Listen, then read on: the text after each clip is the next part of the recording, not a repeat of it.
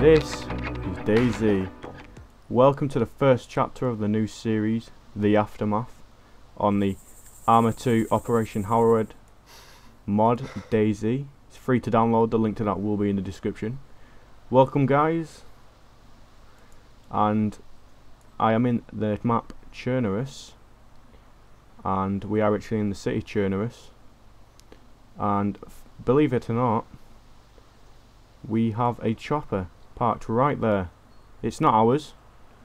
Um, I've tried fixing up. I do play a private hive at the moment. I am on a private hive. For people who are wondering what a private hive is, it's, it's like a privately hired server for people to play and you can password protect it. The admins of the server do have a lot more power and that's why people tend to play private hives a lot more and we're going to head up to my car. I have parked right up near the Northwest Airfield.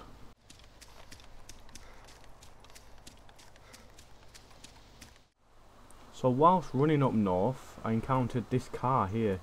This is a hatchback. I'm not too sure whether you can get these on the regular DayZ servers. However, this is a private hive, and the admins do have a lot more power on the server. So, for example, they can they can code in their own loot tables, but this hatchback here does have everything it needs, you know, to get up and running.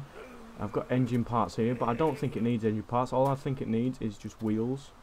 So it turns out it looks does honestly look like somebody is been trying to repair this and has maybe logged out and um, is waiting I don't know maybe for the daytime maybe I don't really know but what I'm gonna do now is I'm just gonna attach these four wheels here you don't need a toolbox to attach the wheels. All you do is you just get the the wheel in your inventory here, and then you just scroll around the car until you can actually find where it says here repair wheel.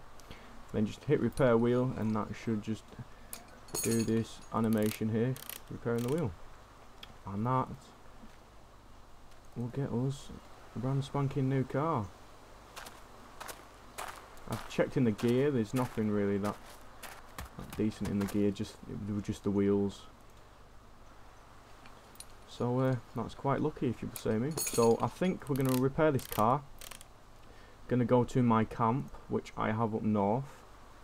And then I'm going to go to my other car. I have two cars now. Get some guns. And we're going to go up to the Northwest Airfield. I don't think there'll be anybody there but we'll soon see.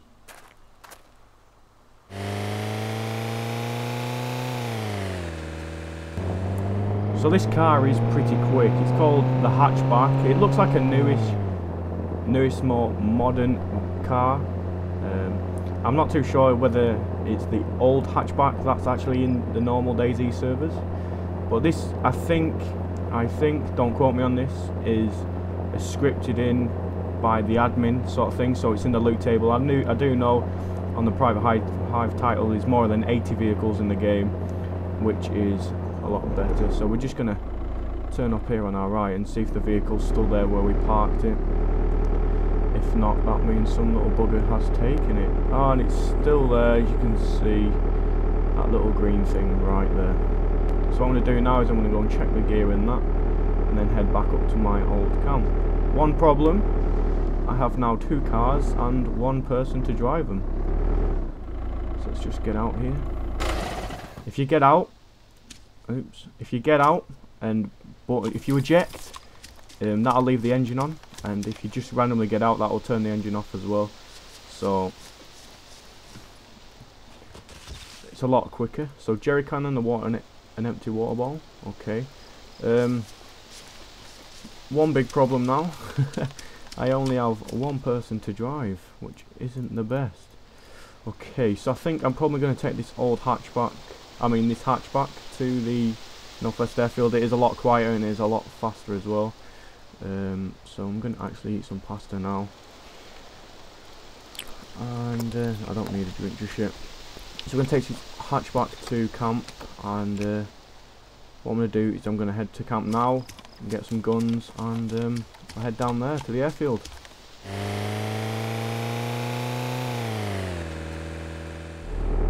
Okay, we're just coming up to the northwest airfield now. As you can see these gates in front of us.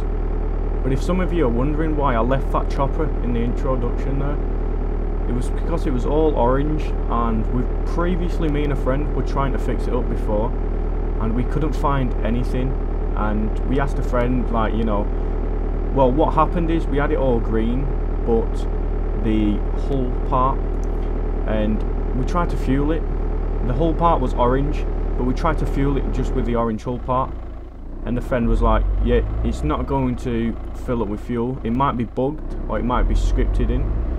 Now when we we put about 20 jerry cans in and nothing came up so we just left the chopper there and we shot it so like nobody else could have it so that's the reason why we left the chopper there. If any of you are shouting at your screens now going mad because we left a chopper there. That's the third one we've seen anyway on this server so I don't think they're too rare and I hopefully want to get some video footage of me actually flying a chopper and we could maybe have chopper battles and uh, that I think that that'd be that'd be a lot of fun that. So we're just coming up to the northwest airfield. My plan is my plan of action is to check the north barracks, wait for some loot, and wait for the loot to spawn, and then check the south barracks. I really don't want to bring too much attention to me, but I doubt anybody is going to be here. But the zombies, I have no ammo for my weapons, and it was kind of a stupid, stupid idea of just coming here without any, out any weapons and am ammunition. But I was hoping just to be quiet, do like a stealth mission sort of thing and hopefully find some ammo in here that we can take back to camp and get sorted there. The only problem I'm thinking of though is if I do run into somebody that I'm just going to probably get out of here straight away in the car. And it doesn't look like to be anybody here at all. So let's just see. You can always tell once the server's reset that this barracks here hasn't been looted and I'll tell you why in a second so let's just save the car so as you can see here the door is the door's not open. Now when the server resets the doors everything just closes. And as you can see in here yep everything is still closed. That means nobody has been here since the last server reset which is a good thing. There might be still some decent loot here. We've just got to wait for it to loot. To loot I mean to spawn in. Because if some of you don't know that if you're in a vehicle and you drive past the city, nothing will spawn, no zombies, not even loot, so you've got to wait for a vehicle. That's the only downside really about having a vehicle, is that you've got to really wait for the loot to spawn once you're here. So I'm just going to wait for that to spawn. So we're heading down to the south barracks and the northwest airfield. Turns out there's nothing actually spawning in there. Oh, we're down chopper. Oh, I didn't see that spawn there. We'll probably We'll probably check that out just after these barracks here because the zombies are going to spawn and that is going to be pretty lethal there so I'm just going to save this and head to the southern barracks which are just there. Hopefully nobody's been in these ones and hopefully loot actually spawned in this one. I was waiting for like five minutes but nothing actually did spawn so I'm kind of an impatient person when it comes to stuff like that. Okay, so... Okay, looks like loot hasn't spawned in here as well. Oh, tank trap kit.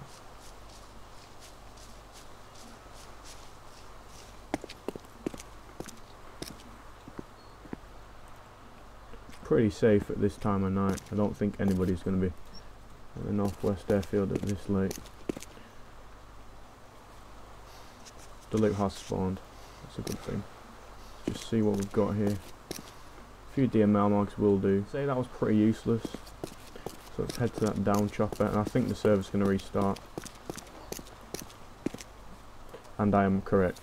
I've just gone back up to the north barracks here to check out the loot again, hence the server restart and it's come to my advantage as there is another DMR which has spawned in there. So I'm going to pick that up and now I have two DMRs one will always come in handy in case I get killed and lose one. I have another one spare in, in my camp. Can never get too many DMRs and the best thing is that you can use the DMRs with your night vision.